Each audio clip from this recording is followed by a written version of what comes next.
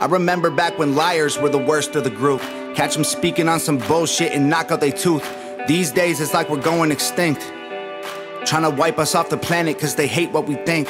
It ain't just, it ain't fair, we need to strengthen our links. and stare them in the eyes